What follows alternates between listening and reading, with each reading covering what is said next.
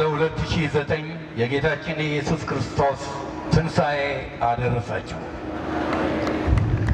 ተደጋግሞ ጊዜ ከዚህ ስፍራ እንደተነገረው ጌታችን ኢየሱስ ክርስቶስ የመቃብሩን ድንጋይ አንከባሎ ሞትን ሽሮ ተነስቷል። ትንሣኤው ያለፈው ዓመት እዚህ ቦታ ተገኝቼ እንደተናገርኩት የአምላክነቱ የጌትነቱ በምድር ሳለ ነኝ እያለ ላስተማረው ነገር ሁሉ ብሉይ ኪዳን ውስጥ እኔ እኔ ነኝ ያለውን አምላክ መሆኑን እንዲሁም ዮሐንስ ወንጌል ላይ አስር ጊዜ እኔ ነኝ እያለ ተናግረዋል። አኔ የሽዋ ያህዌ አምላክ መሆኑን ያረጋገጠበት ነው። በተለይ ዘንድሮ በጁሊያን ሆነ በግሪጎሪያን ካላንደር የምንቆጥር ሰዎች በአንድ ላይ የምናከብረው ይህ የትንሣኤ በዓል የክርስትና እምነት ከሌሎቹ እምነት ሁሉ ልዩ እንዲሆን ያደርገዋል። የትም የለም፣ ማንም የለም፣ ክርስቶስ ኢየሱስ ሞትን አሸንፈው ተነስቷል። ከሁሉ አስቀድሜ በመካከላችሁ ተገኝቼ የእግዚአብሔርን ቃል እንዳካፍል የጋበዙኝን የኢትዮጵያ ወንጌላውያን አብያተ ክርስቲያናት ኅብረት የቦርድ ሰብሳቢ ፓስተር ዘሪሁንን እንደዚሁም ደግሞ ፕሬዚዳንቱን ፓስተር ጻድቁ አብዶን የኅብረቱን የቦርድ አባላት በሙሉ ይህ ስብሰባ እንዲሳካ የደከሙትን ሁሉ ከልብ አመሰግናለሁ።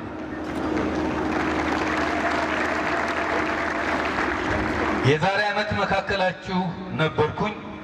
የተነጋገርነው የትንሣኤው ጌታ ኢየሱስ ክርስቶስ ሥጋን ለብሶ ወደዚች ምድር ከመጣ በኋላ ይህች ዓለም የድሮውን እንዳልሆነች ታሪክ እንደተለወጠ ክርስቶስ ጻዳ በሆነው ሕይወቱ በትምህርቱ ልብ ሰርስሮ በሚገባው ሰውን በሚለውጠው ትምህርቱ በምሳሌነቱ እንደገናም ደግሞ የሰው ልጆችን ከኃጢአት ቀንበር ነፃ ባደረገው የመስቀል ሞቱ አምላክነቱን ባረጋገጠበት ዛሬ እንደምናከብረው በዓል በትንሣኤው በእርገቱም ዓለምን እንዴት እንደቀየረ የሰው ልጆች ሕይወት እንደተነካ ደግሞም እሱ የመሰረታት ቤተ ክርስቲያን በቅብብሎሽ ይህንን ክርስቶስ የጀመረውን ስራ የሐዋርያ ሥራ ላይ እንደተጻፈው በብዙ አይነት መንገድ ወንጌልን በመስበክ ብቻ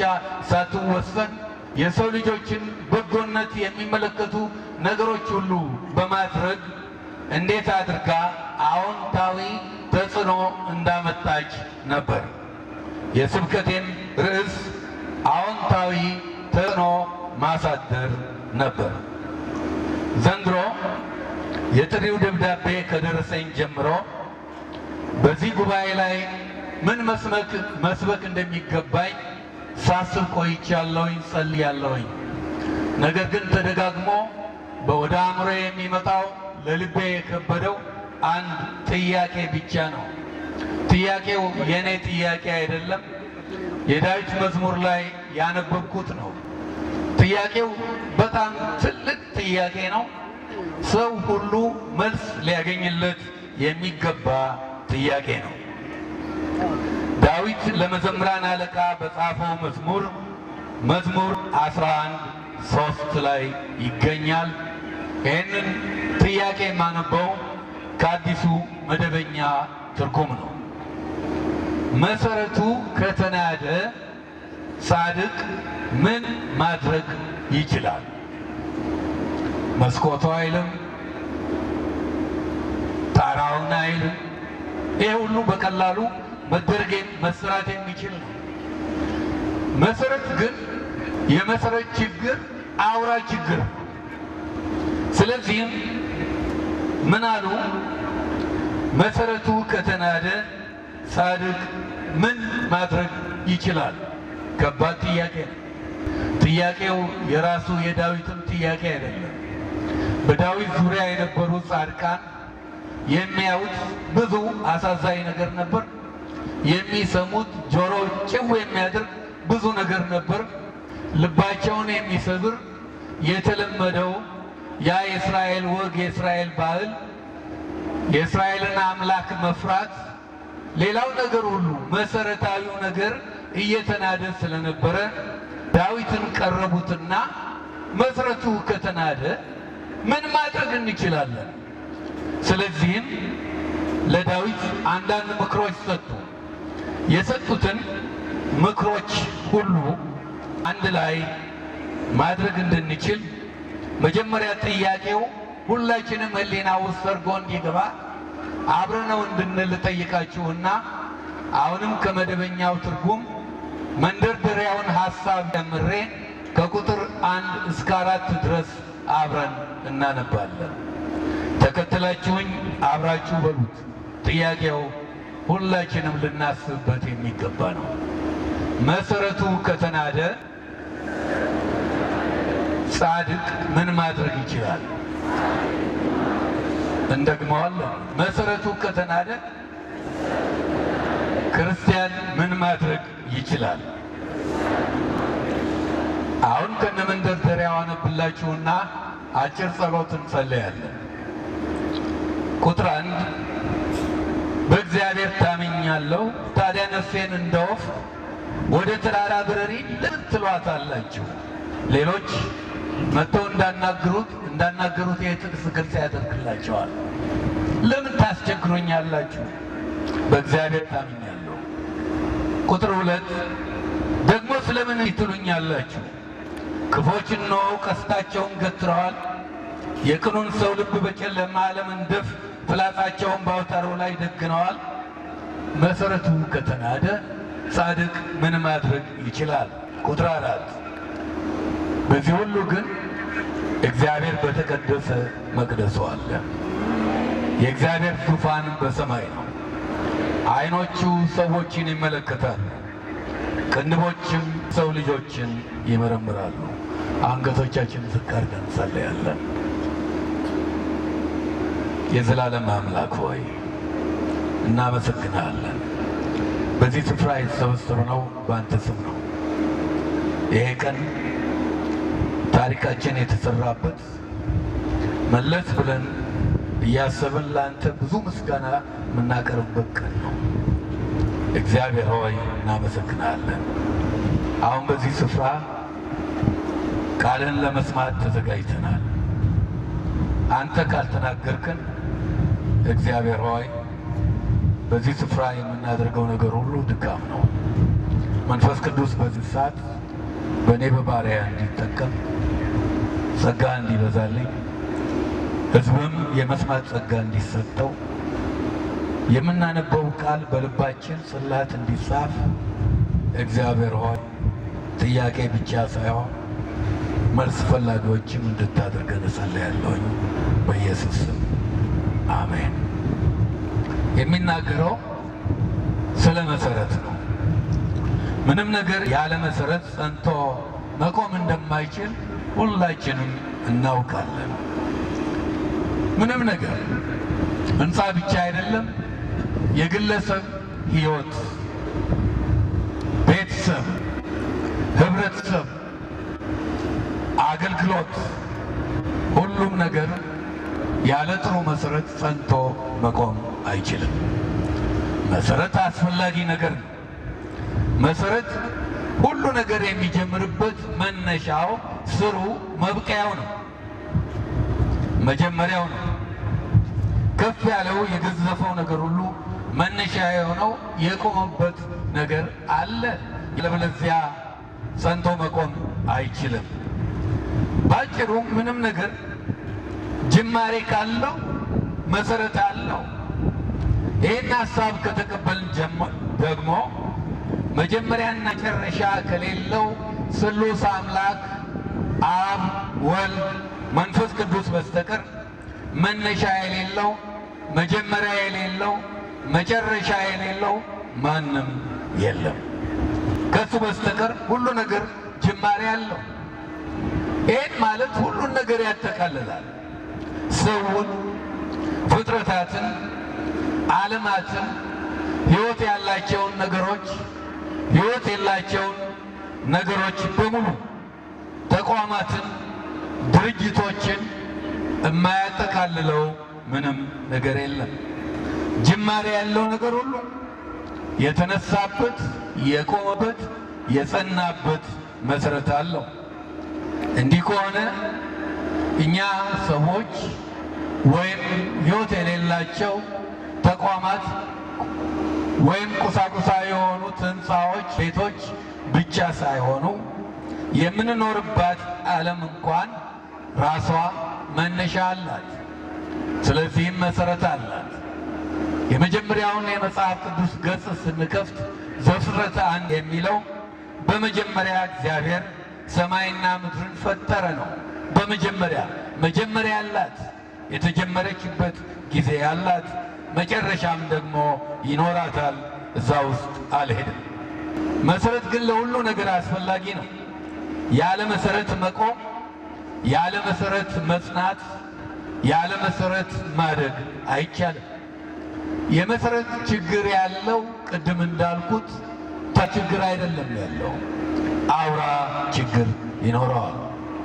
መሰረት ከተናደ ትልቅነት ወይም መግዘፍ ወይም ውበት ያንን ሕንፃ እጅብ ብሎ ከመውደቅ ሊቆጥበው አይችልም።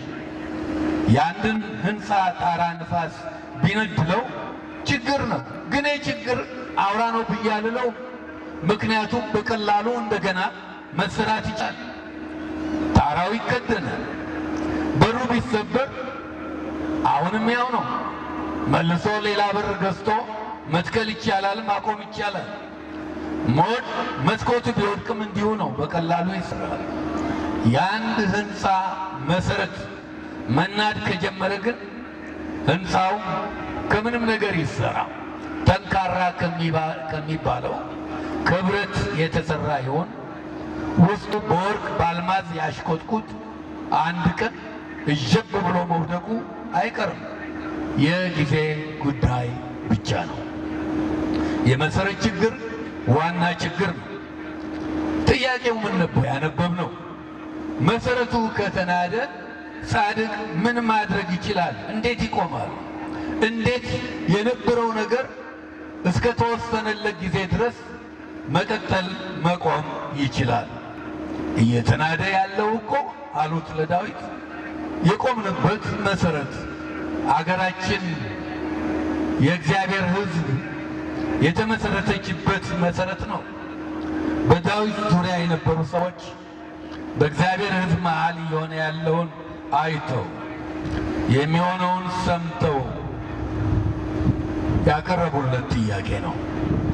በቃ ዝም ብሎ ከማየት በስተቀር ምርጫ የለም። እንደውም ችል ዳዊት ጥፋ፣ ወደ ተራራ ብረር አሉት።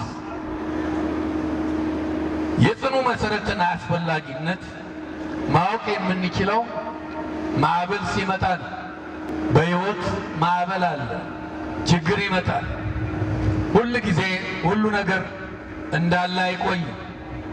እንደውም ይህንን በተመለከተ የምናደርገው ምርጫ አስፈላጊ እንደሆነ እንድናስብበት ጌታችን ኢየሱስ ክርስቶስ የማቴዎስ ወንጌል ምዕራፍ 7 ከቁጥር 26 እስከ 27 ላይ እንደተጻፈው የመሰረትን አስፈላጊነት አስጠንቅቆ ነግሮናል።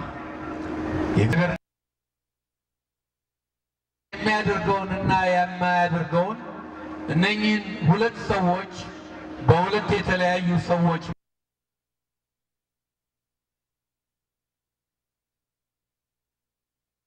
ሁሉን ሰምቶ የሚያደርገው ጠቢብ እንደሆነ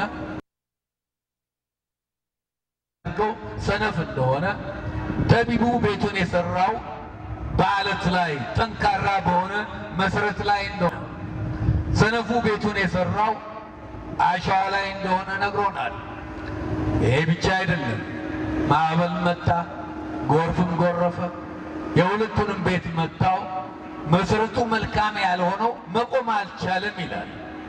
አሁን ግን እያወራን ያለነው መልካም የሆነ መሰረት ኖሮ እንኳን መሰረቱ ከተናደ ጻድቅ ምን ማድረግ ይችላል? መዝሙር 11 ቁጥር ሶስት ላይ ያለውን ቃል መቼ በምን ምክንያት እነኛ ሰዎች ያንን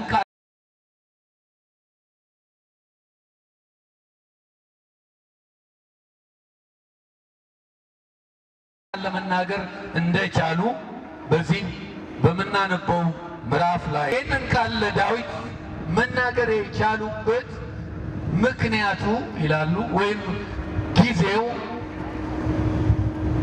የዳዊት ልጅ አቤሴሎም በአባቱ ላይ በተነሳ ጊዜ የአባቱን መንግስት ለመፈንቀል ክፉ ሰዎችን አስከትሎ ሰራዊት ባስከተተ ጊዜ በአባቱ ሰራዊትና እርሱም በተከተሉ ሰዎች መካከል የሕዝብ ደም ሊፋሰስ ባለበት ጊዜ የሚሰማው ሁሉ ከተለመደው በእስራኤል ምድር ከሚታወቀው ግራ የሚያጋባ አስደንጋጭ በሆነበት ጊዜ ነው። ዳዊት አሁን እኮ ሌላ ነገር አይደለም፣ መሰረት ነው ችግሩ። መሰረት እየተናደ ነው። ምን ማድረግ ይቻላል? ሌሎች ደግሞ አይደለም።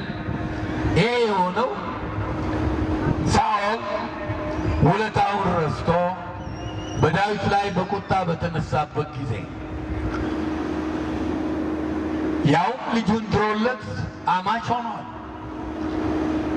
አንድ ጊዜ እስራኤልን አስጨናቂ ከሆነ ሁኔታ ውስጥ ታድጓል።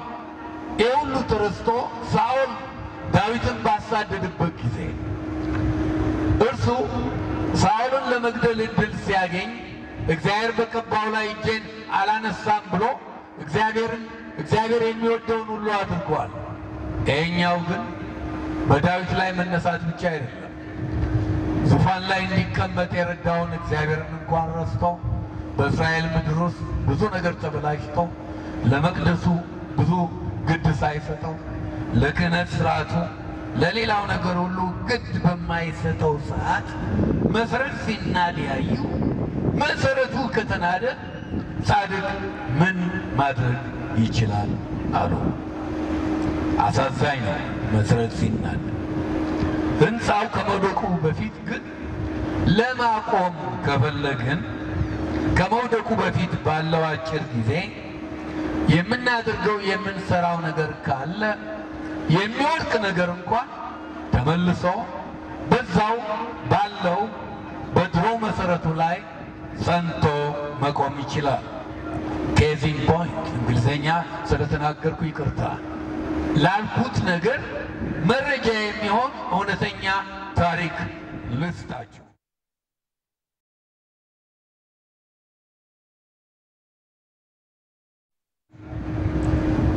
ጣሊያን ሀገር ፒሳ በተባለ ከተማ ለመሰራት መቶ ሰባ ሰባት ዓመት የፈጀበት የፒሳ ካቴድራል የደወል ማማ አለ።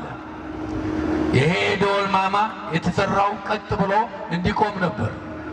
በሰሩት አንድ ዓመት ጊዜ ውስጥ ግን መንጋደድ ጀመረ። ሊወድቅ ነው። እየተንጋደደ መሄድ ጀመረ። ለምን? መሰረቱ ጥብቅ አልነበረም። ሶስት ጫማ ብቻ ጥልቀት ነበረው። የቆመበት አፈር በጣም ልስልስ ነበረ። ከዚህ የተነሳ ተጣመመ፣ መንጋደድ ጀመረ። ይሄ ህንፃ ለብዙ ዓመት ነው የኖረው።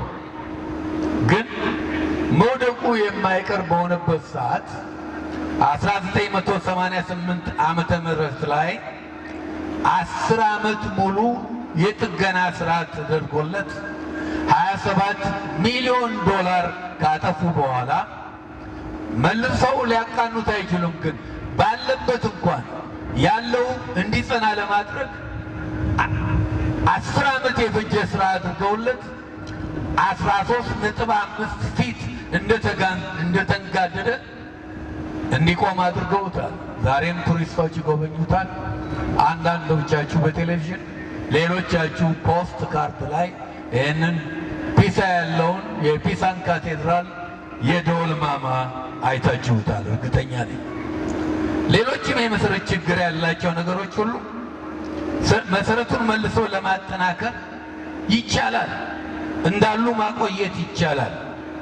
ወደ እኛ ሁኔታዎች ስንመለስ ልብ የሚሰብር ብዙ ችግሮች አሉ። የችግር አውራዎችም ደግሞ ይታያሉ። የመሰረት ችግሮች ማለት ነው። የአስተምሮትን ጥራት በተመለከተ ልምምዶችን በተመለከተ የተረሱ ኢትዮጵያዊ ጨዋነት ኢትዮጵያዊ ጨዋ ነው። በእውነት ኢትዮጵያዊ ጨዋነትን ኢትዮጵያዊ ባህልን በተመለከተ እሴቶቻችንን በተመለከተ ክርስቶስን የመሰለ ባህሪ በተመለከተ ክርስቲያን ክርስቶስን የሚመስል ማለት ነው። ምስክርነታችንን በተመለከተ ቅድስናን በተመለከተ ዝርዝሩ ብዙ ነው። መዝሙር መቷ መዝሙር 11 ሶስት የሚለውን ቃል ያስብላል። መሰረቱ ከተናደ ጻድቅ ምን ማድረግ ይችላል? መፍትሄውን እንድንፈልግ እየተናዱ ያሉ አራት አንዱ ሲናድ ሌላውም እንዲናድ የሚያደርጉ ነገሮች ብቻ አነሳለሁኝ ዛሬ በዚህ አደባባይ። ነገር ግን እማላነሳቸው ብዙዎች እየተናዱ ያሉ ነገሮች አሉ። ለምን አታነሳቸውም በሉኝ። ምክንያት አለ። ፈረንጆች እንዲህ ይላሉ በእንግሊዘኛ don't wash your dirty linen in public ይላል። የውስጥ የቆሸሸ ልብስ በአደባባይ ሰው እያየ አትጠብ ነው የሚሉት። እኔ ቤተ ክርስቲያን ክብርት እንደሆነች አምናለሁ። ለምን የመሰረታት ክቡር ነው። ክቡር የሆነ ጌታ ስለመሰረታት ቤተ ክርስቲያን ክብርት ነች፣ የክርስቶስ አካል ነች። ስለዚህም አእምሯችሁ የሚያውቀውን ሁሉ እናንተ ጨምሩበት። እግዚአብሔር ከረዳን መፍትሄውንም አብረን እንፈልጋለን። የአደባባይ ጉዳይ አይደለም፣ ግን ሁላችንንም የሚመለከት አማንያንንም ሌሎቻችንም እንድናስብበት የሚገባ አራት ነገሮች አሉ። እነኛን አነሳለሁኝ። እየተናዱ ነው። አንደኛው የዘላለማዊነት መሰረት ነው። ሰው ዘላለማዊ እንደሆነ መርሳት። እግዚአብሔር ከፈጠራቸው ፍጥረታት ሁሉ ሰው ብቻ ነው ዘላለማዊ። ሰለሞን መክብብ 3 11 ላይ ነገርን ሁሉ በጊዜው ውብ አድርጎ ሰራው፣ እግዚአብሔርም ከጥንት ጀምሮ እስከ ፍጻሜ ድረስ የሥራውን ሥራ የሠራውን ሥራ ሰው መርምሮ እንዳያገኝ ዘላለምነትን በልቡ ሰጠው ይላል። ሰው ዘላለማዊ ነው። ደግሞ በልቡ ውስጥ አንድ ክፍተት አለ፣ ዘላለማዊነት። ያንን ክፍተት ሊሞላው የሚችለው ዘላለማዊ የሆነው እግዚአብሔር ብቻ ነው። እግዚአብሔር ደግሞ ዘላለማዊ የሆኑ ነገሮች እነኛ ያንን ክፍተት ሊሞሉ ይችላሉ። ብዙ ሰዎች ግን ክፍተቱ ስለሚሰማቸው ያንን ቦታ የሚሞላላቸው እየመሰሉ የማይሞክሩት ነገር የለም፣ የማይበጥሱት ቅጠል የለም። ብዙ ነገሮች ያደርጋሉ፣ አንዳቸውም ግን አይጠቅሙም። የሰው ልብ ዘላለማዊ የሆነው እግዚአብሔርና ዘላለማዊ ነገሮች ካልሆኑ በስተቀር ማንም ምንም ሊሞላው አይችልም። ምሳሌ ልስጣችሁ። ለጉብኝት ጣሊያን ሀገር ብትሄዱ ሚላኖ ከተማ ከደረሳችሁ ዶሞ ዲ ሚላኖ የሚል የሚላኖ ካቴድራል የሚባል አስደናቂ የቤተ ክርስቲያን ህንፃ ታገኛላችሁ። ህንፃው ለመሰራት ብቻ አምስት ምዕት ዓመት የፈጀበት ህንፃ ነው። በ1386 ተጀምሮ 1510 ላይ ያለቀ ነው።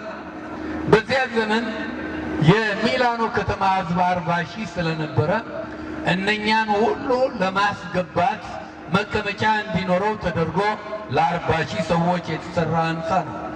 ዙሪያውን አስደናቂ በሆኑ ምስሎች ተከቧል።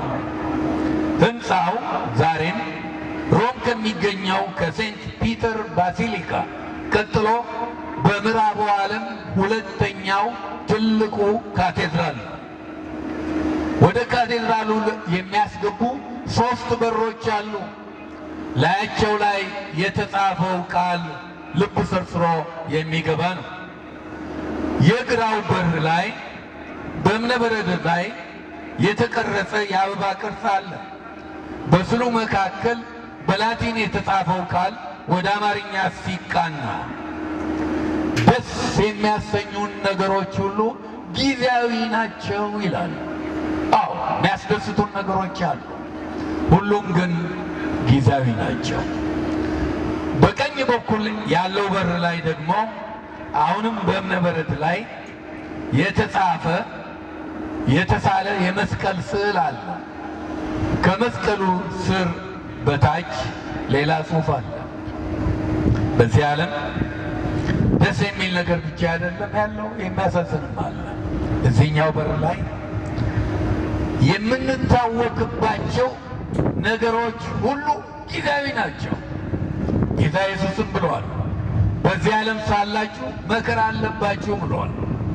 ይቺ ዓለም ፍጹም የሆነ ደስታ ያለባት ቦታ አይደለችም። ስለዚህ መከራ አለ፣ ችግር አለ፣ እንታወቃለን፣ እንረበሻለን።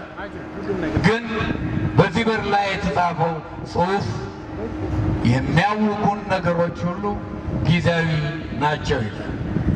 ወደ መካከለኛው በር ስትመጡ ወደ መሰዊያው ቦታ ወደ መድረኩ የሚያደርሰው መካከለኛው በር ላይ የተጻፈው ጽሑፍ ግን እንዲህ ይላል።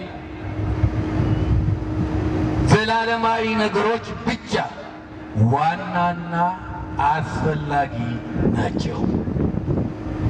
የቀረው የሚያሳዝነው ሆነ የሚያስደስተው ጊዜያዊ ነው።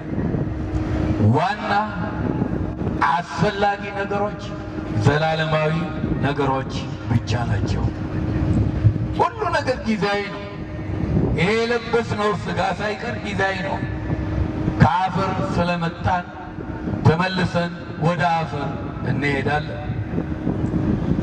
በዚህ ባለን አጭር ጊዜ ውስጥ ምርጫችን ወደ ጥፋት በሚያደርሰው ሰፊ ጎዳና ይሁን ወይም ደግሞ ሌሎቻችን ጠቢብ ሆነን ኢየሱስ ክርስቶስ እያዘጋጃት ወዳለው ከተማ በሚያደርሰው ጠባብ መንገድ ጠባብ ነው መንገዱ። ሊያሰፉት ይሞክራሉ፣ ግን ሁልጊዜም ጠባብ ነው። በጠባቡ መንገድ የምንጓዝም እንሆን ሁለታችንም ሰዎች የተባልን ሁሉ የምንጓዘው ወደ ዘላለም ነው። በዚህ ዓለም የምንኖረው በጣም አጭር ለሆነ ጊዜ ነው። መጽሐፍ ቅዱስ ቢበዛ ሰባ ይለዋል፣ ካለበለዚያም ሰማንያ ነው ይላል። ከዛም በላይ ከሆነ ለመከራ ነው። ይህንን ዘላለማዊነት መርሳት ሰው ዘላለማዊ እንደሆነ ወደ ዘላለም እንደሚሄድ ዘላለማዊነቱን ከረሳ በጣም በጣም ትልቅ መሰረት እየተናደ ነው ለሰው ይላል መጽሐፍ ቅዱስ ዕብራውያን 9 ቁጥር 27 አንድ ጊዜ ሞት ከዚያም በኋላ ፍርድ እንዳለ እናውቃለን ይላል። የዘላለማዊነት መሰረት ከተናደ በዚህ የምንኖረው ኑሮ ልክ ፍሬኑ እንደተበጠሰ መኪና ይሆናል። በጌታ አምኛለሁ፣ ድኛለሁ፣ እኔ ክርስቲያን ነኝ፣ አይመለከተኝም የምንል ብንኖር እንኳን ጥቅሶች መስጣችሁ ከረሳችሁ የሐዋርያውን ጳውሎስ መልእክት ወደ ቆሮንቶስ ሰዎች አንደኛውን ማለት ነው ምዕራፍ ሶስት ላይ አንብቡ። በጣም በጣም እንድናስብበት የሚያደርግ ምክር አለ።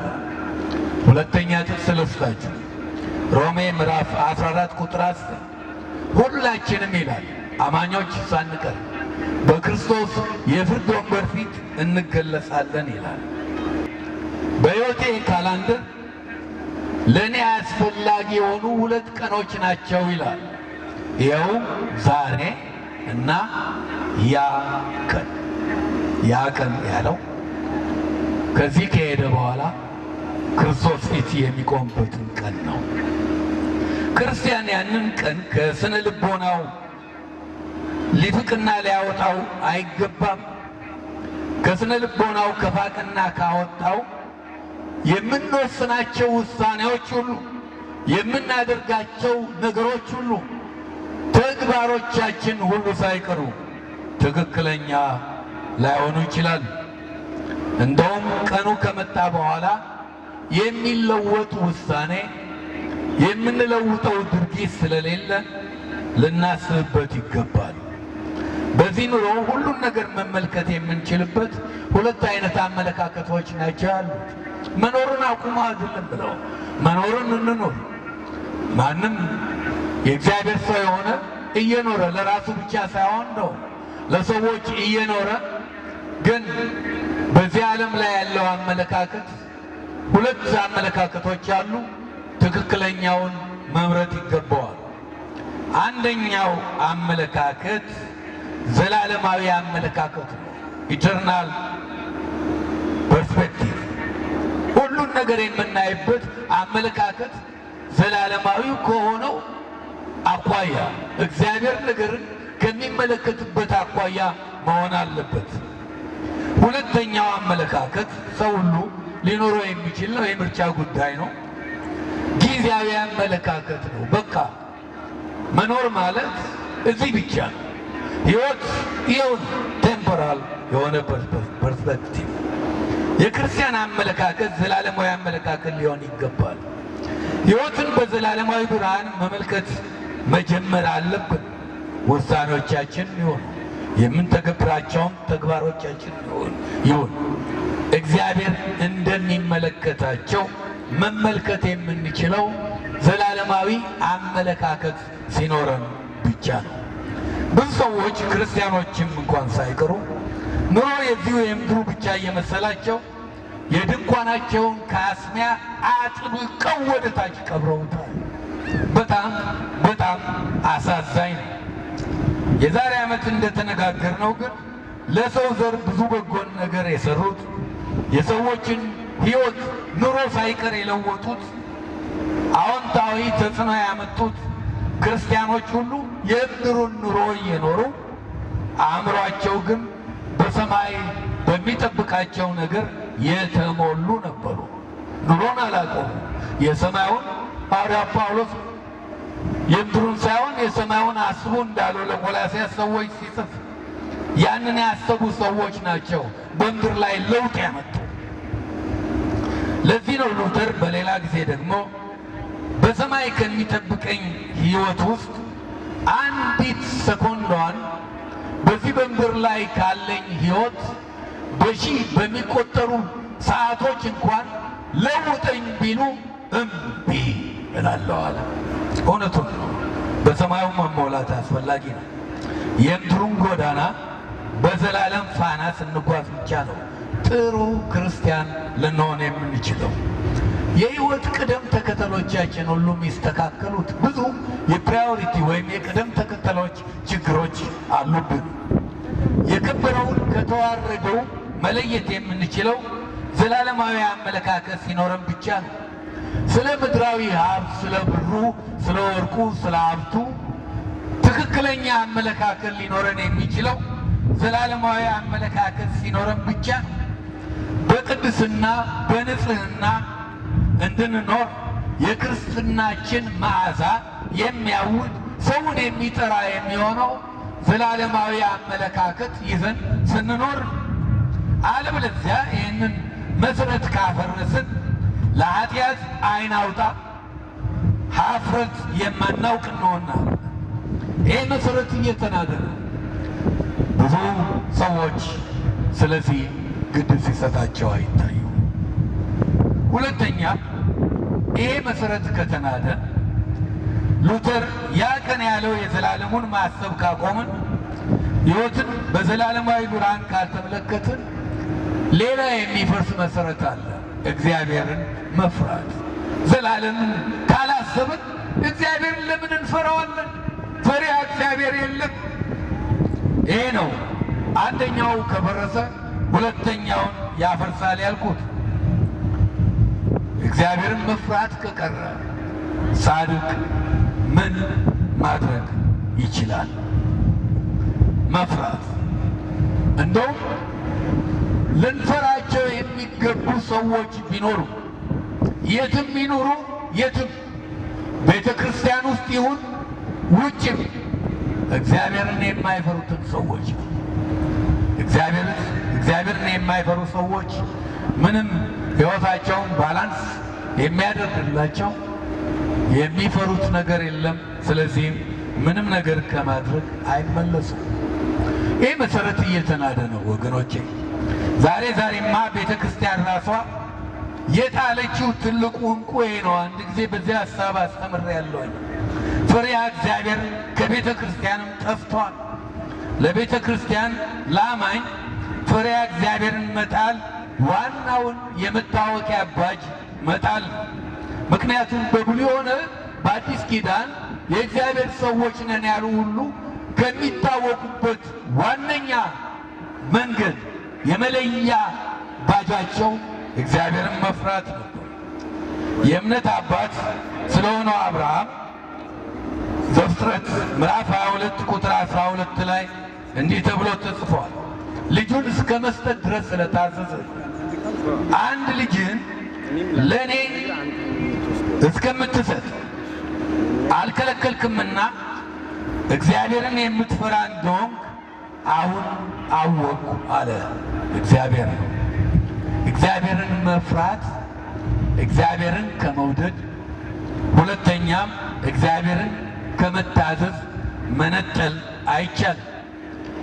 አብርሃም እግዚአብሔርን በመፍራቱ መውደዱ፣ መታዘዙ ተመሰከረ።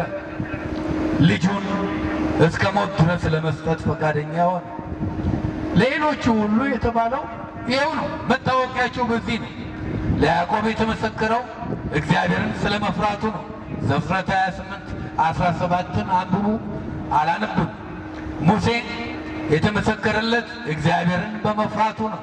ሌሎችም ምስክርነት ተሰጥተውለታል። በምድር ከኖሩት ሁሉ ትሑት ሰው ነበር። ዘጸአት 3 6 ስለ ዳዊት የተመሰከረው በዚህ ነው። ሁለተኛ ሳሙኤል 6 9 ስለ ኢዮብ የተመሰከረው በዚህ ነው። ኢዮብ የሚታወቀው እግዚአብሔርን በመፍራቱ ነው። ኢዮብ ምዕራፍ 1 ቁጥር 1 እና ቁጥር 6 ነው። ሳሙኤል ትውልዱን እግዚአብሔርን እንዲፈሩና እንዲያገለግሉ ሲጠይቅ አንደኛ ሳሙኤል 12 24 ላይ እናያለን። ኢያሱ ትውልዱን እግዚአብሔር እግዚአብሔርን እንዲፈሩ አስተማረ። ምዕራፍ 24 ኢያሱ ቁጥር 24 ላይ እናገኛለን።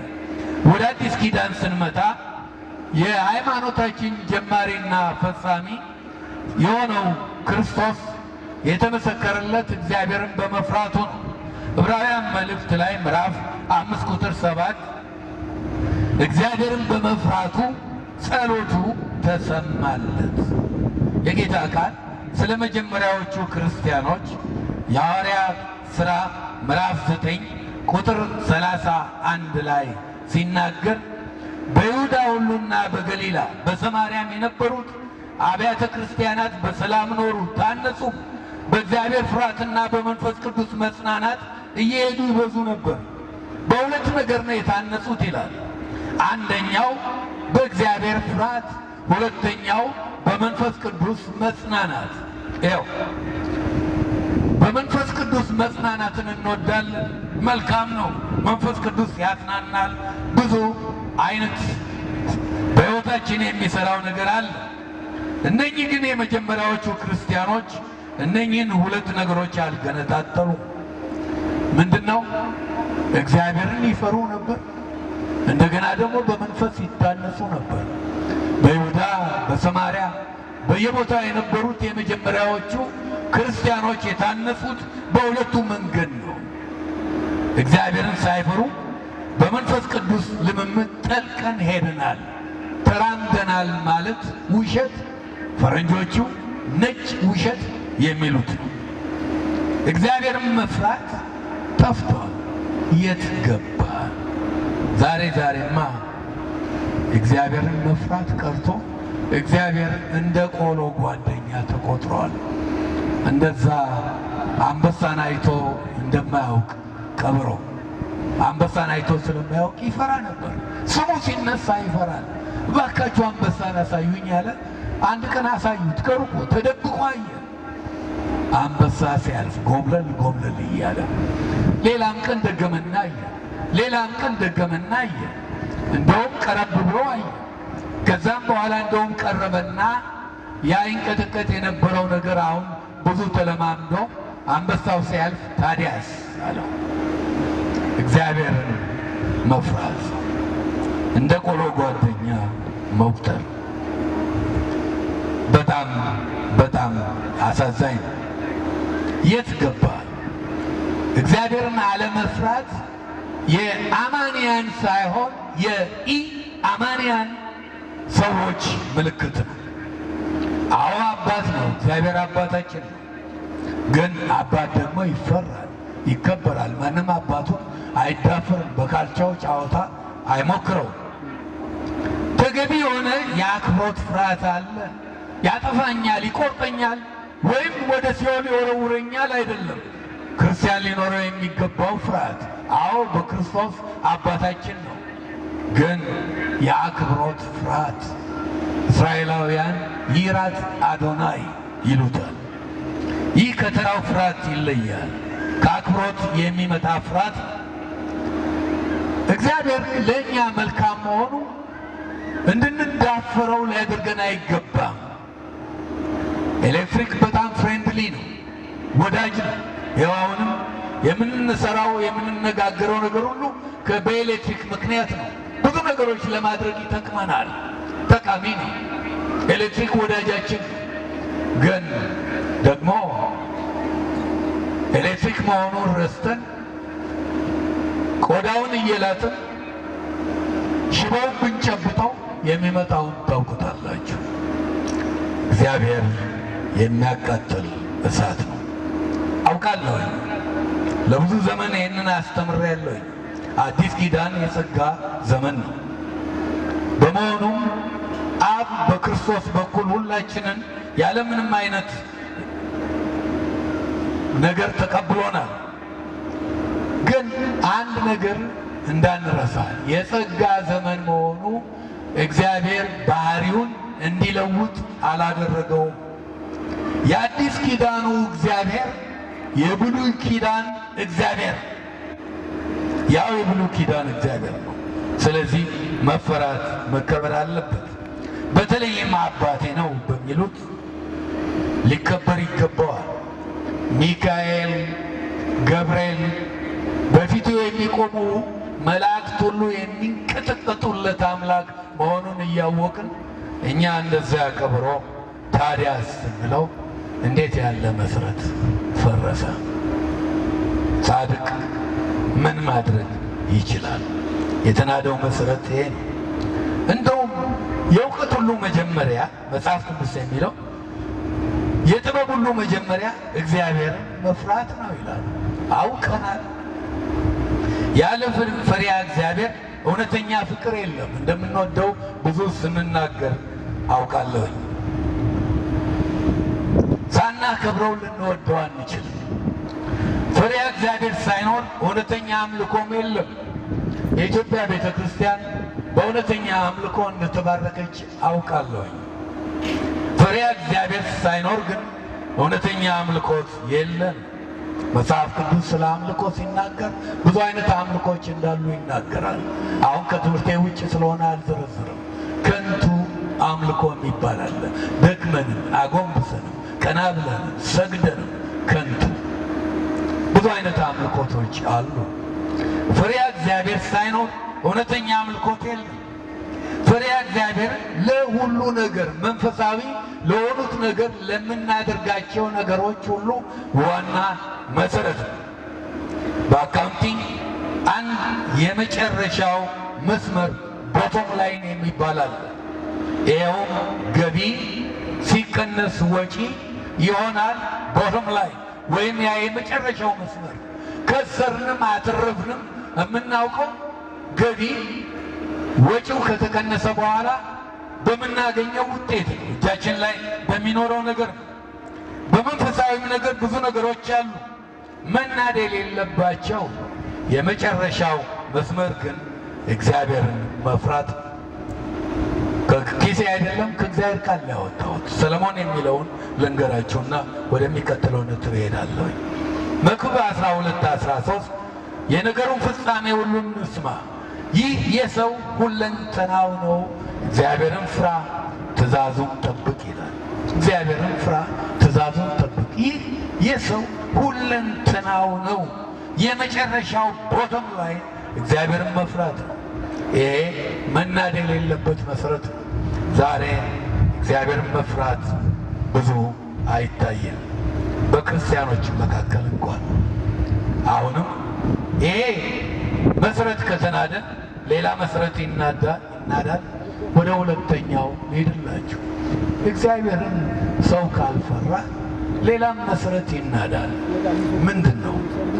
ሰው ዘላለማዊነቱን አምኖ ከዚህች አጭር ሕይወት በኋላ አድራሻ ለውጦ በድል ፈንታው መቆሙን ካላሰበ፣ ፍርድ መኖሩን የዘላለም ሕይወት መኖሩን ከረሳ፣ ሕይወትን በዘላለም ብርሃን መመልከት ካልቻለ፣ ፈሪሃ እግዚአብሔርም ደግሞ ከሌለው የሞራል መሰረት ይፈርሳል። ሞራል ስንል የትኛውን ነገር ማድረግ ትክክል፣ የትኛውን ነገር ማድረግ ትክክል፣ አንደኛው ደግሞ ትክክል እንዳልሆነ የሚናገር ነው። እንግሊዝኛው የበለጠ sense ይሰጣል። right ወይም wrong የሚለውን አስተሳሰብ በውስጣችን ውስጥ እንዲኖር የሚያደርግ ነው ሞራል። ከላይ የጠቀስናቸው ሁለት መሰረቶች ካፈረስን ሰው ለሞራል ግድ የለሽ ይሆናል። ሞራል የሚለው የእንግሊዝኛ ቃል ዛሬ በአማርኛም ተለምደዋል፣ ግን ቃላት አተን አይደለም የተለመደ ስለሆነ ነው ያንን የጠቀስኩት። ሞራል የሚለው ቃል የመጣው ሞሬስ ከሚለው የላቲን ቃል ነው። ትርጉሙ ባህል ካስተም፣ ወይም ባህሪ ማነር፣ ወይም ልማድ ማለት ነው። መጽሐፍ ቅዱስ ደህንነት ያገኘ ነው ሞራላዊ በመሆን ትክክለኛውንና ትክክል ያልሆነውን በማወቅ ነው አይልም። ማንም ሞራላዊ በመሆን መዳን አይችልም። ድነት የሚገኘው ኢየሱስ ክርስቶስ ለእኛ ሲል ሕይወቱን መስጠቱን ከሞት መነሳቱን አምላክ ጌታ እንደሆነ ይህን ሁሉ በማመን በክርስቶስ በማመን ብቻ ነው። ዳሩ ግን የዳነ ክርስቲያን ክርስቶስን የመሰለ ሕይወት እንዲኖረው መጽሐፍ ቅዱስ ያስተምረናል። ስለ ቅድስና፣ ስለ ትክክለኛና ስህተት መጥፎ ስለሆኑ ነገሮች right or wrong ያስተምራል። ለእኛ ለኢትዮጵያውያን ደግሞ ክርስትናው ሳይጨመር እንኳን ጨዋ ባህል ነው ያለ። በጣም ጨዋ ከተሳሳትኩ አርሙኝ። እኔ ግን ይህንን ማመኔን ቀጥላለሁኝ። ኢትዮጵያ ጨዋ የሆነ ባህል አላት። በጨዋ ባህል እንዳደግን አውቃለሁ። የት ገባ ኢትዮጵያዊው ጨዋነት፣ ኢትዮጵያዊው ጨዋ የሆነ ባህል ያን መሰረት ምናደው እየተናደ መሆኑን እናያለን። እንደውም ከረራ አድርጌ ጉዳዩን እንዲያሳስባችሁ ላድርገው። አሁን በዚህ አካባቢ አንድ ዳቦ ቤት ቢኖር ሁላችንም ዳቦ ለመግዛት እዛ ዳቦ ቤት እንሄዳለን። ዳቦ ቤት ተሄዶ ዳቦ ሲጠፋ ግን በጣም ያሳዝናል። ስለ ሞራል ካነሳን የሞራል ሕይወት ሊኖር የሚገባበት አንድ ቦታ ቢኖር እንደውም የሞራል አስተማሪ መሆን ያለባት ቤተ ክርስቲያን ነች። በክርስቲያኖች ዘንድ ነው። የት ገባ? ድሮ ብዙ አይነት ክስ ነበር። እኛ ወጣቶች ሆነ ያ የማይጠፋው እሳት በዚች ምድር ላይ ሲነድ ብዙ የውሸት ክሶች ነበሩ። መረጃ ግን አይገኝም። ቢፈልጉ ቢፈልጉ ሲከሱ ይኖራሉ እንጂ አንድም መረጃ አልነበረም። ዛሬ ምን ነው መረጃው በዛ አልበዛ? በጣም በዛ። በውሸት መከሰስ ያለ ነው። በእኛም ዘመን ሆኗል። ብዙ ወሬ ተነስተዋል። መረጃ ግን አይገኝም ነበር። ክርስትና የከበረ ነበር እኔ እስከማውቀው።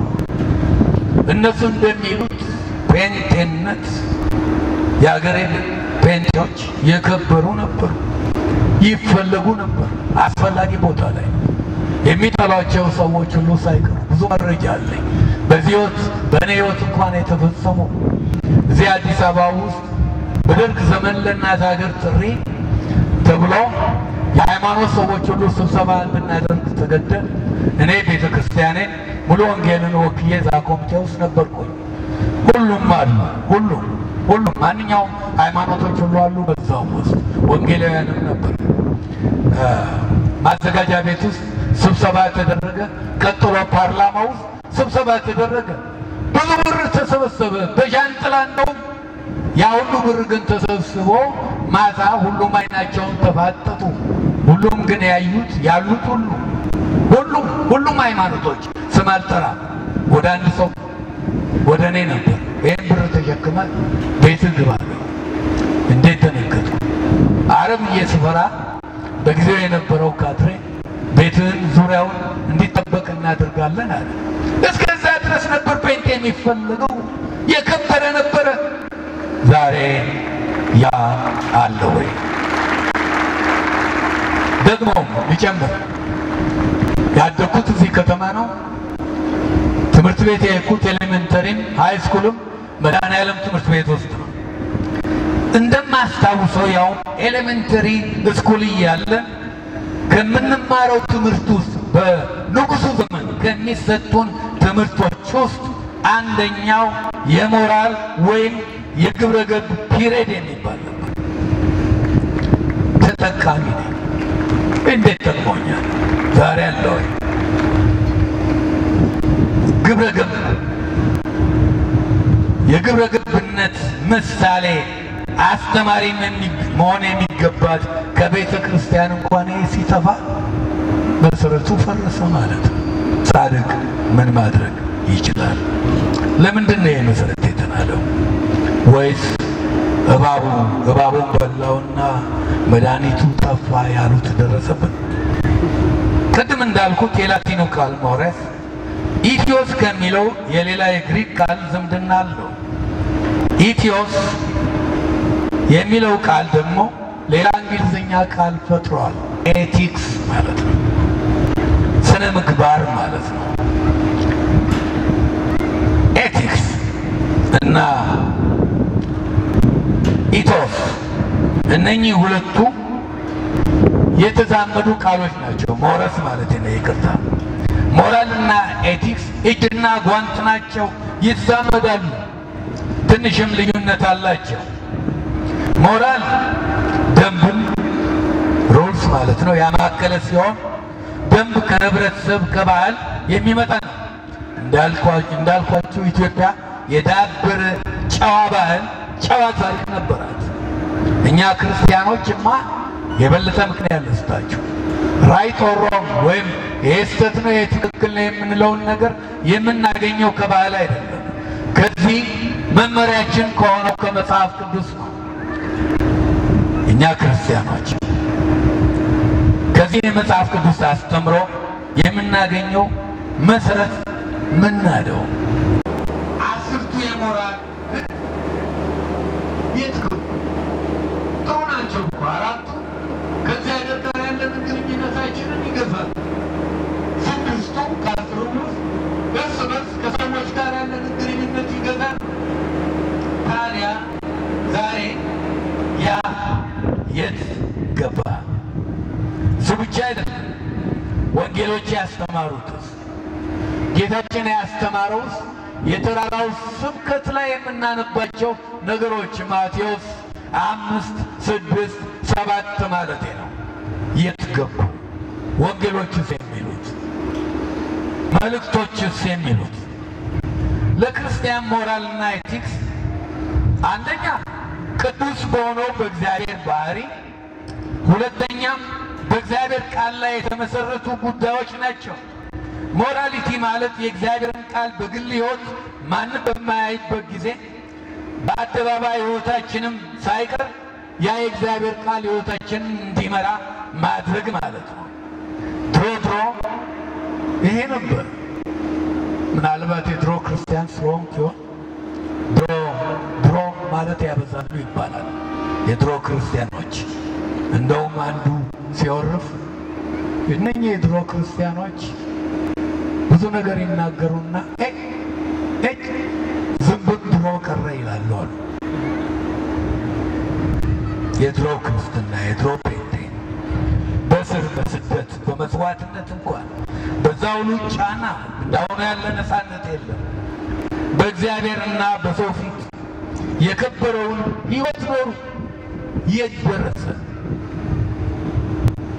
የሀገሬን ክርስቲያን ምነካው? ዛሬ እኮ የነፃነት ዘመን ሆኖ እንጂ ክርስትና ወንጀል ቢሆን ክርስቲያን መሆን ወንጀል ነው ተብሎ ለክርስቲያንነታችን ፍርድ ቤት ቀርበን መረጃ ቢፈለግ ይገኛል ወይ? አሳዛኝ። ከስደቱ ይልቅ ነፃነቱ ባሰ ወይስ ዘማሪው እንዳለው አወይ ነፃነት ዋ ዋ ዛሬ እንኳን ከቤተ ክርስቲያን ውጭ ባሉ ቀርቶ ከውስጥም የሞራል ክስረት ውስጥ ገብተናል። ዝርዝር ውስጥ ብዙ አልገባም። ድሮ የነበረው መስፈርት ወርዷል። እሴቶቻችን values አይታወቁም። በውጭ ዓለም ያለውን ትባትንኬ አልነግራችሁም። ዛሬ የውጭ ዓለም ሌላው ቀርቶ አባት እናት የሚለው ቃል አስፈላጊ አይደለም። አንደኛ ወላጅ፣ ሁለተኛ ወላጅ። ምክንያቱም አባትም እናትም አንድ አይነት ናቸው። ብዙ ነገር አለ እዛ ውስጥ አልገባም። በቅርቡ ግን በመገናኛ ብዙኃን ጆሮ ጭው የሚያድር ጉድ ሰማው። ሰውየው ክርስቲያን ናቸው፣ ካቶሊክ ናቸው፣ ትልቅ ሰው ናቸው፣ ተወዳጅ ናቸው። እኔም ወዳቸዋለሁ። የአሜሪካን ምክትል ፕሬዚዳንት ናቸው። ለብዙ ነገር ተስፋ ይደረጉ ነበር፣ ግን ልጃቸው ሞተ። በልጃቸው ሞት የተነሳ አዘኑ። የአሜሪካን ሕዝብም አብሯቸው አዘነ። እንዴት ያለ ልጅ ነው! ልጆቹን ጥሎ ሚስቱን ትቶ ሄደ፣ ሞተ። ሞትም አይቀርም። ሌላም ልጅ አላቸው። እሱም ሚስት አለው፣ ትዳር አለው። እነኚህ ወንድማማቾች ወንድማማቾች ናቸው። ሞራል ምን ያህል እንደከሰረ የምናየው ግን በቅርቡ የሰማውን ዜና ያ በሕይወት ያለው ሰው የራሱን ሚስትና ቤተሰብ ትቶ የወንድሙን ሚስት መውደድ ብቻ አይደለም፣ በይፋ አግብቷል። አብረው መኖር ጀመሩ። ያዘኑ ሰዎች ገርሟቸው፣ እንደውም ጋዜጠኞች እኚህ የተከበሩ ሰው ሄዱና ጠየቋቸው። ምን ይሰማዎታል? አባትንም እናትንም ምን ይሰማቸዋል? ይሄ በመሆኑ የሞተውን ልጃቸውን ሚስት በሕይወት ያለው ልጃቸው አግብቶ ያው ይወራል በአሜሪካ። ምን ይሰማቸዋል ሲሏቸው ሰውየው ውይ ተፈላልገው ተገናኙ found each other እንዴት ጥሩ ነገር ነው ከዚህ በላይ ምን የሞራል ክስረት አለ? እዚህ ሀገር ያለውን አላውቅም፣ ስለማላውቅም አልናገርም። በዩቲዩብ ላይ ግን ባለቤቴ ዶክተር ማሙሻ ሲናገር ሰምታ የነገረችኝ ልንገራቸው። ዶክተር ማሙሻ የእነርሱ ቤተ ክርስቲያን አንድ ቤት መስራቱም እንደሆነ አይታወቅም። አንድ ነገር ከአንድ መስሪያ ቤት ፈቃድ ማውጣት ነበረባቸውና መካከል ባለ ሰው አማካይነት ሄድናል። ሄደን ፈቃድ ስንጠይቅ መካከለኛው ሰው አይ አይሆንም፣ ይሄን ያክል ብር ብለዋል ባለስልጣኑ አሉን አለ። እኛ እኮ ክርስቲያኖች ነን፣ እንዲህ ያለ ገንዘብ መክፈል አንችልም፣ መጽሐፍ ቅዱስ አይፈቅድልንም አልናል። ኦ ክርስቲያኖች ናችሁ? ፕሮቴስታንት ናችሁ? አዎ አልናቸው አለ። እሱማ ከሆነ ለእናንተ ይቀንሳል። ለምን ብንላለን? ምክንያቱም ባለስልጣኑ ፕሮቴስታንት ናቸው። እኔ አይደለሁም የሰማሁትን። በሀገሬ ግን አለ። እዚህም ሀገር ሳይቀር ሁለት ቦታ ተናግሬዋለሁ። ልድገመው። ዳላስ ውስጥ ነው። ዳላስ ሞርኒንግ ስታር የተባለ ጋዜጣ ላይ ወጥቷል። ምን ያህል የሞራል ክስረት እንዳለ በቤተ ክርስቲያንም አካባቢ እኔ ሌባ ገባ፣ ሽጉጥ መዞ አዛውንት የሆኑ ባልና ሚስት ቁጭ ብለው ራት ሲበሉ ደረሰባቸው። ደገንና ሽጉጡን እጃቸውን አንሷለ፣ ያላቸውን ሁሉ አራግፎ አንሶላ አምጥተዋል። እዛ ላይ አድርጓል። ሴትዮዋ ወርቅ፣ አልማዝ የቀረ ነገር የለም። ቤት ውስጥ ያለ ምንም አይነት ሀብት ሁሉ ሳይቀር እዛ አንሶላ ላይ አድርጓል። አደረጉ። ሰዎቹ እየተንቀጠቀጡ መሞት አልፈለጉም። ማንም ሞት አይፈልግም። ከጥቂት ጊዜ በኋላ ያሌባ ሽጉጡን እንደደገነ ነው አንድ ነገር አስተዋለ። ቴሌቪዥኑ ተከፍቷል። የክርስቲያን ጣቢያ ላይ ነው ያለው። ሰቨን ሀንድረድ ክለብ የሚባለው ፕሮግራም ነበረ። አየና መለስ ብሎ ደግሞ ክርስቲያን ናቸውን አላቸው። ሰዎቹ የባሰ ተንቀጠቀጡ። አሁን ደግሞ በክርስትናችን ሊገለን ነው አሉና ታዲያ ክርስቶስ አይካድ ሞትም ከሆነ ይሞትለታል። አዎ አለ። ተቀለለና ያለውን ነገር ይዞ ተሸክሞ እኔም አላቸውና ወጣ። አይ ወንድማችን ክርስትና ክርስቶስ ነው። ክርስትና ክርስቶስን መምሰል ነው። የእሱን ባህሪ መፈንጠቅ ነው። ጳውሎስ ጳውሎስ በሮሜ 8 29 አስቀድሞ ያወቃቸውን የልጁን መልክ እንዲመስሉ አስቀድሞ ወስኗል ይላል። ዛሬ ክርስትና የክርስቶስ ክርስቶስን መምሰል ወንጀል ቢሆን ፍርድ ቤት ተከሰን ብንቀርብ መረጃ ይገኛል ወይ ብያቸዋለሁ። ነን ማለት በቂ አይደለም። አዎ ቀላል ነው፣ ግን የሚመሰክር ግን አንደበታችን ሳይሆን ባህሪያችን፣ ኑሯችን መሆን አለበት። አንዳንዶች ዘመኑ ተለውጧል፣ ተው እንደ ዘመኑ መሆን አለበት ይላሉ። ዘመኑም መቀየር ይችላል፣ ግን የእግዚአብሔር ሀሳብ አይቀየርም። ስህተት ብዙ ሰው ቢደግፋትም እውነት አትሆንም። እውነት ደግሞ የፈለጉን ያህል ሰዎች ቢያጥላሏት ቢቃወሟት ስህተት አትሆንም። ቤተ ክርስቲያን ተነስታ የድሮን ወንጌል መስበክ አለባት። ቅድስናን እንደገና ማስተማር አለባት። ዛሬ ጸጸት አልባ ኃጢአት መጥቷል። ጸጸት አልባ ይሄ እንዳልሆነ ዛሬም ቢሆን የድሮን ወንጌል ፈረንጆች the three Cs ይሉታል። conviction conversion ማለት ነው። the three Cs እና confession ሶስተኛው ይሄ ነው።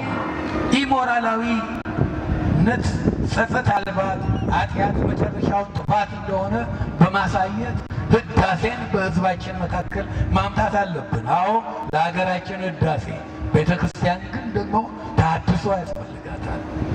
back to the basic ተመልሰን ወደ ጥንቱ ወይ ጥንቱን ወንጌል አሮጌውን መስቀል ያንን የሰው ህይወት የሚለውጠውን ወንጌል የሚያዝናናውን የሚያስቀውን ብቻ አይደለም፣ ህይወትን የሚቀይረውን ወንጌል መጨረሻም ላይ የሚያዋጣውን የሚያደርሰውን ወንጌል መስበክ አለብን። ይሄ መሰረት እየተናደ ነው።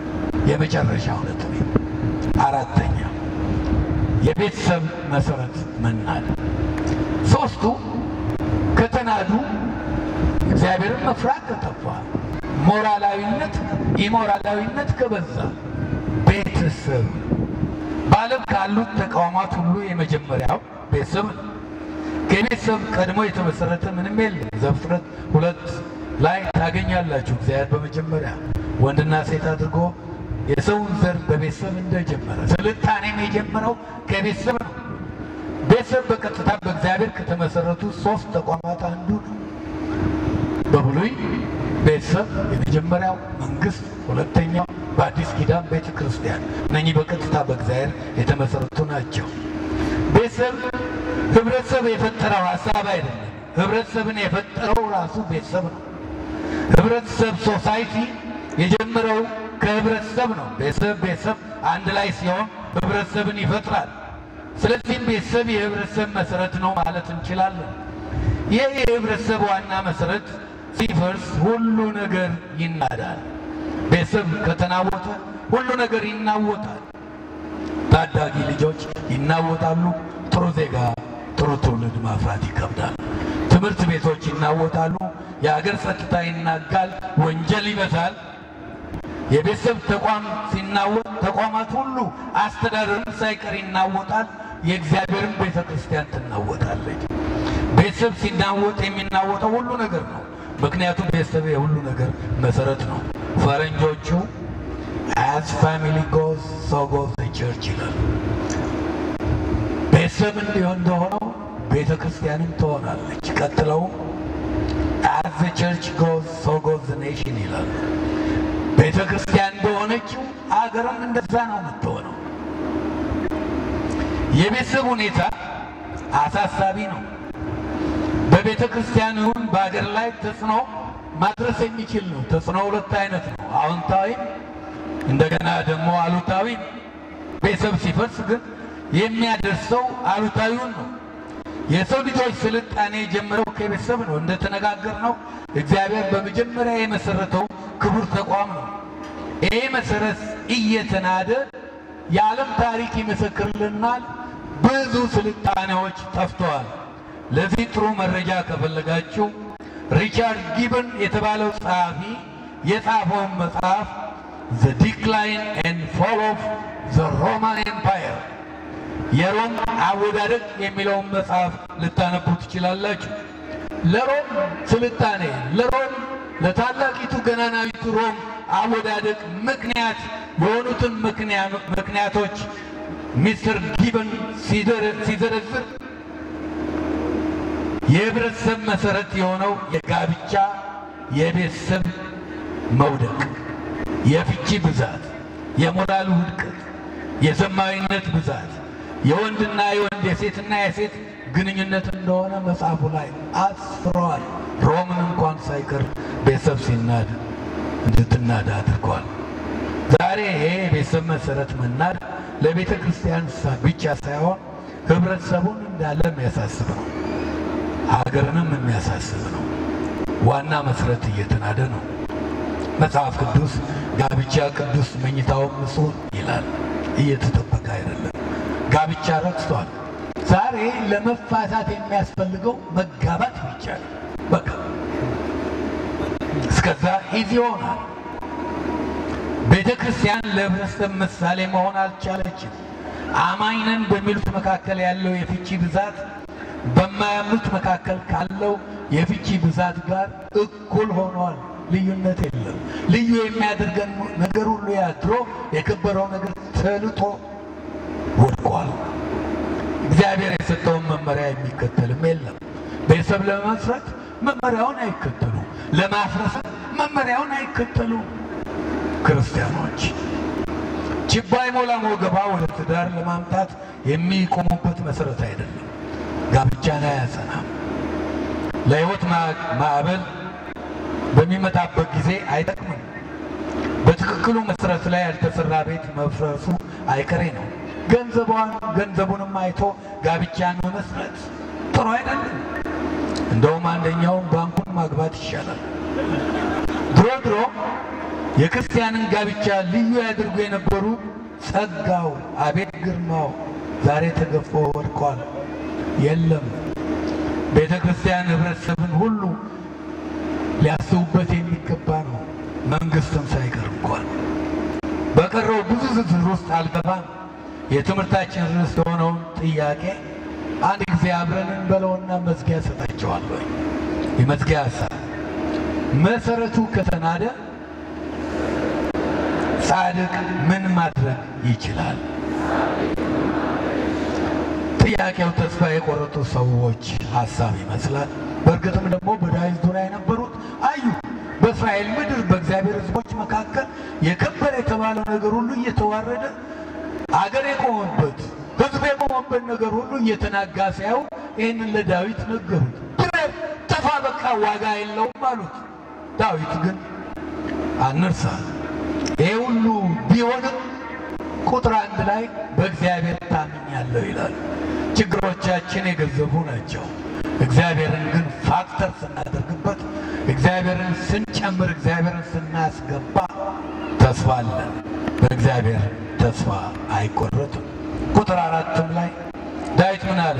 እግዚአብሔር በመቅደሱ አለ፣ በማደሪያው ነው። ችግራችን ያለ እኛ የምናየውን እኮ ያለ የምንሰማውን ከኛ በፊት ቀድሞ ሰምቶታል። የታሰበውን እንኳን ያውቃል። ሁሉን የሚያውቅ አምላክ ነው። ደግሞ እኛም የምናደርገው ነገር አለ። መሰረቱ ከተናደ አንድ ህንፃ ከመውደቁ በፊት ከሆነ ጊዜ ካለ እዠብ ብሎ ከመውረዱ በፊት ከሆነ ተስፋ አለ። በምንኖርበት ሀገር ብዙ ህንፃዎች የመሰረት ችግር ሲኖራቸው ሰዎች እርምጃ ሲወስዱና ይፈርሳል የተባለው የተባለውን ቤት እንደገና ሲያቆሙት በቀድሞው ክብሩ ያ ቤት ሲቆም ሰዎችን በውስጡ ደስ ብሏቸው ሲኖሩ አይቻለሁኝ። ቅድምም ከታሪክ አንድ ምሳሌ ሰጥተዋችሁ የፒሳ ካቴድራል ማማ ጣሊያን ውስጥ እንዲች እንዳዘመመን ቢሆን ዛሬም ጎብኚዎች፣ ቱሪስቶች ሁሉ ያዩታል አለ። እነኚህ ኮንትራክተሮች አማርኛ ቃላት የለኝም ለሱ ህንፃን የሚያቆሙበት አንድ ሂደት አላቸው። underpinning ይሉታል። underpinning ምንድን ነው? አፈሩን በሙሉ ያወጡና መሰረቱ ያለበት ቦታ ጥልቅ ቆፍረው ሌላ መሰረት አብረው እያጣበቁ ለዛ መሰረት ድጋፍ የሚሰጥ ነገር ያደርጉለትና ያንን መሰረት የቆመ እንዲሆን ያደርጉታል። underpinning ግን ያንን ለማድረግ ማድረግ የሚገባቸው ነገር አለ። እንዲንሸራተት የሚያደርገውን የመንሸራተቱ ምክንያት የሆነውን አፈር ሁሉ ቆፍረው አውጥተው ይጥላሉ። ቤተ ክርስቲያንም underpinning ያስፈልጋታል። ቅድም አራት ነገሮች ጠቅሻለሁኝ። ሌሎችንም ማልጠቅስበት በዚህ አደባባይ ምክንያት አለኝ ብያቸዋለሁኝ። ቤተ ክርስቲያን ክብርት ነች።